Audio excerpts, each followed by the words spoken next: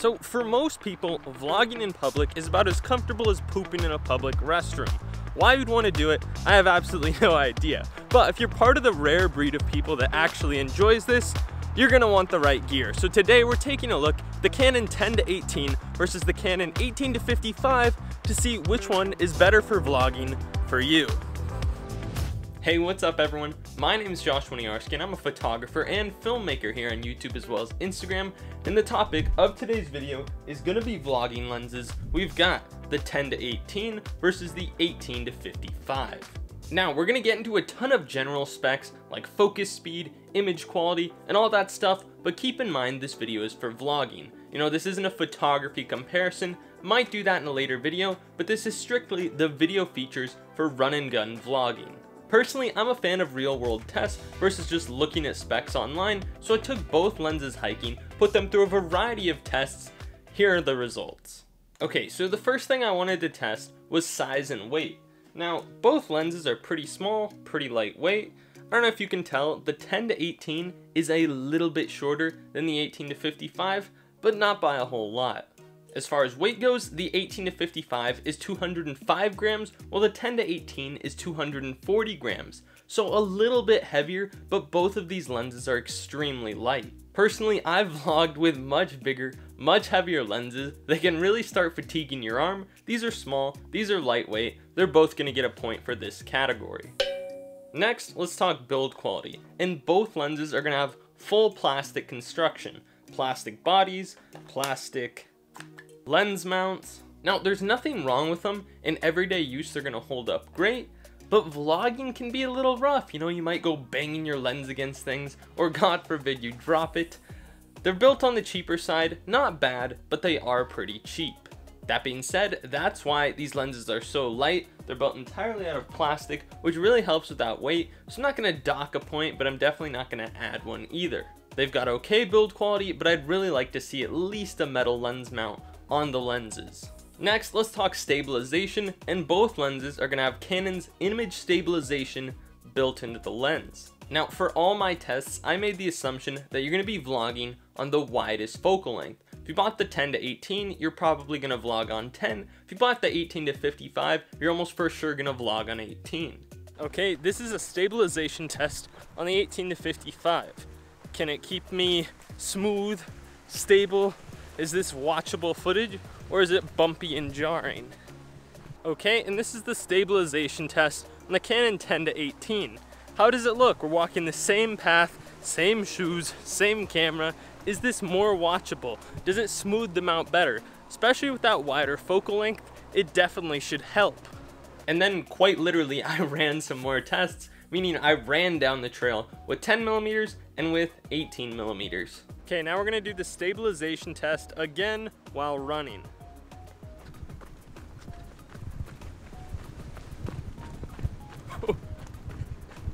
okay, and now we're gonna try the 18 to 55 while running. In both situations, I personally like the look the 10 to 18 millimeter lens a lot more. Realistically, the actual stabilization is probably pretty similar, but having 10 millimeters as such a wide focal length, it actually gets rid of those micro bumps and jitters when walking on a trail a lot better. While this was definitely an extreme test, 18 millimeters just felt too tight when you're walking and hitting little bumps with your feet, which kind of translate up your body. It kind of got jarring to look at the footage for too long. If you're looking for the most stable image you can get, I definitely recommend the 10 to 18 over the 18 to 55. Next, we've got image quality slash sharpness. Now, I tried testing this outdoors, but the sun was setting, there were some clouds moving in front of it. I wasn't getting very consistent results, so I couldn't come to anything conclusive, so when I got home, I did a few studio tests in a controlled environment. Now, admittedly, I couldn't get quite as much light as I would have liked on my face, but both lenses were shot indoors, the same lights, f5.6, ISO 500, this is what that looked like. So here's the 10 to 18 millimeter, and here's the 18 to 55, both at 18 millimeters just to make the results actually comparable. Now, there wasn't a massive difference for video, but after punching in, it definitely looked like the 10 to 18 had a little bit sharper of an image, so it's gonna get a point for this category.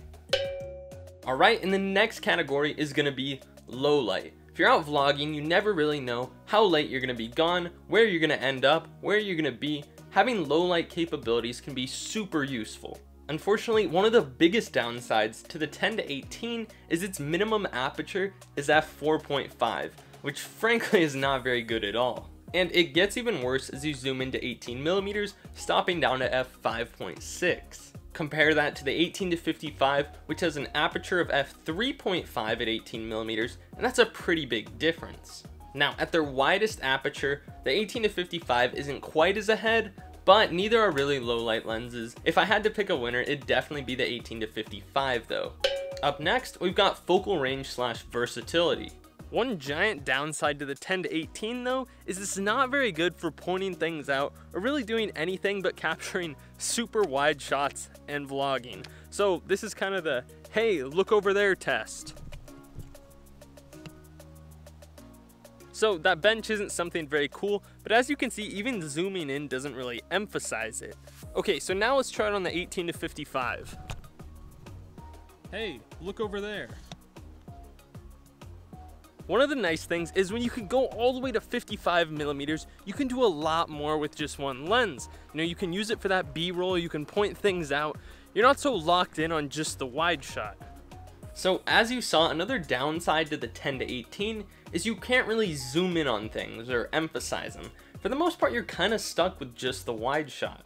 Now, if you strictly just vlog, you just film yourself, or you have other lenses and you're willing to bring them both on your vlogs, you can get around this, but I'm gonna give the point to the 18 to 55 for being more of an all-arounder in this category. Okay, and next let's talk field of view, and this is a little bit biased. The obvious winner is gonna be the 10 to 18, for it's got a wider field of view. So right now I'm at 10 millimeters, and you feel like a little bit more a part of me, I guess is the best way to put it. So you can see everything around me. You can see me, you can see my hand. I'm very expressive with my hands. It's more like someone else is filming me.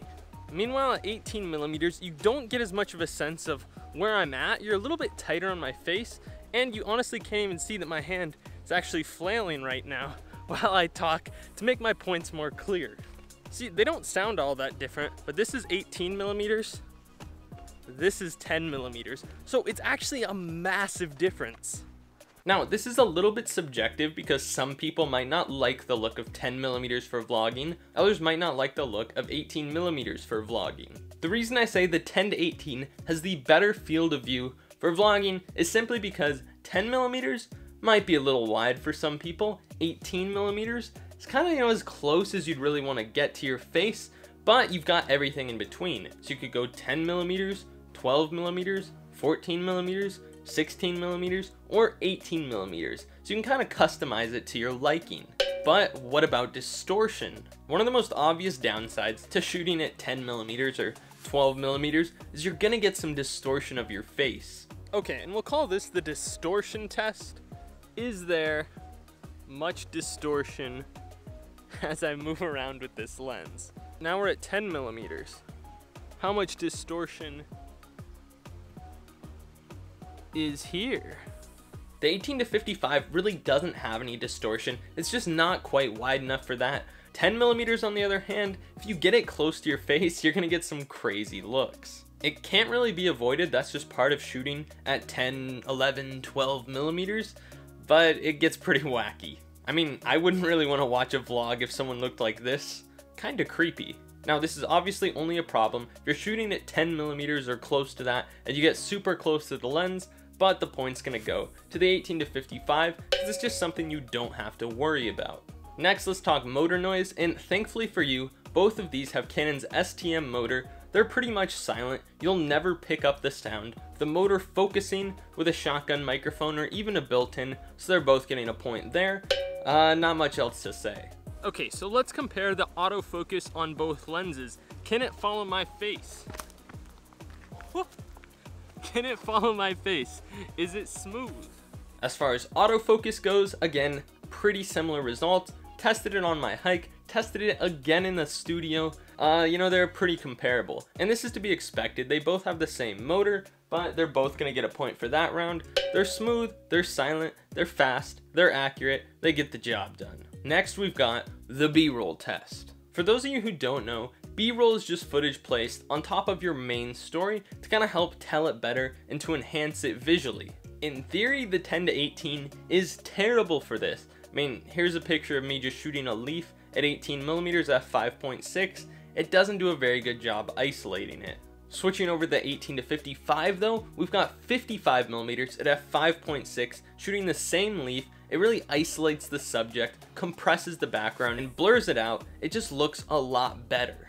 But one thing that's kind of cool and maybe not a lot of people know is the 10 to 18 can actually get you some gimbal-like looking shots handheld, which is super cool. The reason being when you're shooting at 10 millimeters, not only does it smooth out your handheld footage, but it actually exaggerates the movements. Because it's such a wide focal length, even moving just a couple feet with your hands looks like you're just flying around the world. Take this clip for instance. Straight at a camera, it looks pretty cool. Taking it a step further though, we can slow it down to 50%, add a warp stabilizer in post, and it looks like a gimbal. It looks like there's no way someone was hand holding this shot but I didn't even have to take a step. It's just leaning into it, nice and smooth. It's a pretty cool thing to be able to do. You know, you can capture mountains or trees or anything like that. Very useful for B-roll. Next, let's talk price. The 18 to 55 is listed for $250 on Canon's website. Under no circumstance should you actually pay that. If you want the 18 to 55, it's normally only $100 extra to just get it with your camera, or if you shop around on places like Amazon, you can find it new for well under $150. Meanwhile, the 10 to 18 is about $280, and you can't really get it cheaper with your camera. It's pretty much stuck at that price. Point here is gonna go to the 18 to 55 because it is cheaper, it is more affordable, but neither of them are crazy expensive. Okay, so if you've made it this far, your head might be spinning. Let's have a quick recap. So both lenses are light, they're plastic, STM motors, good autofocus, and they've got pros and cons for B-roll. So why would you go with the 10 to 18? Well, it is going to be more stable thanks to that wider focal range. It can get more in frame, so if you're with other people or you want to show off where you're at, you can do that better. And it's going to give you a little bit sharper of an image. Why would you go with the 18 to 55? Well, it's cheaper, a little bit more of an all-arounder. You know, you can go from 18 millimeters all the way to 55, so that's super cool. And it's gonna have better low light. It's not a bad option if you just wanna carry one lens and get the job done. So there you go. Obviously not a perfect, flawless comparison, but hopefully this helped you understand the pros and cons of each lens to help you make a more informed purchase decision. Personally, I like the look of the 10 to 18 more for just walking and talking with the camera, but I couldn't use it to make a whole video. I would definitely have to carry another lens. I don't like the 18 to 55 as much for the walking and talking part, but it's definitely more of the all-arounder. Anyways, that's it for me. Question of the day, which lens would you pick? Let me know in the comment section down below, and have fun, stay creative, and I'll see you all in the next one.